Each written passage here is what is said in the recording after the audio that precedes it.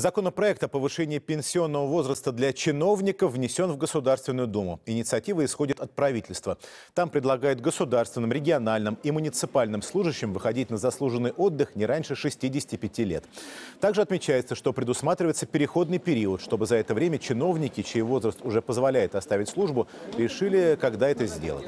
В случае принятия закон вступит в силу с 1 июля 2016 года. Напомню, сейчас женщины выходят на пенсию в 55, мужчина в 60 лет.